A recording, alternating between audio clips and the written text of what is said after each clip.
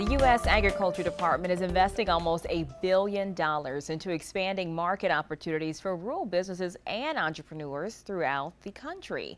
Five million is going to one business in Orangeburg County. Our Naja Hood takes us there.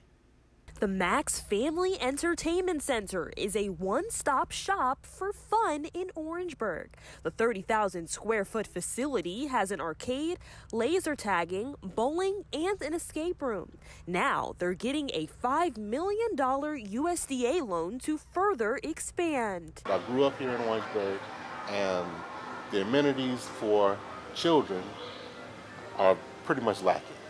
Um, and actually, we started this process because the only movie theater in Orangeburg, uh, about eight or nine years ago, um, actually closed down. They opened their doors in June 2021 to fill a void for entertainment options in the city.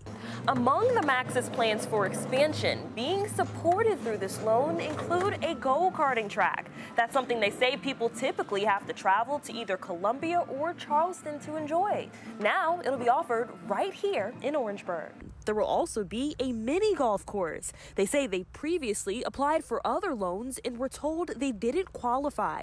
Now they have the support needed to continue elevating recreation in Orangeburg with the goal of revealing the completed outdoor attractions in the spring. What we hope that would happen is that other minorities, regardless, other minorities will have the same opportunity.